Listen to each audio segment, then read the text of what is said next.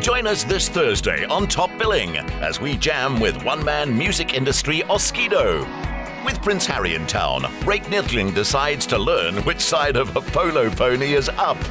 You decide. Will Christmas be a classic lamb, duck, and gammon affair, or an alfresco beach party? And Jurgen Visser weds Maties beauty Minette Tollig.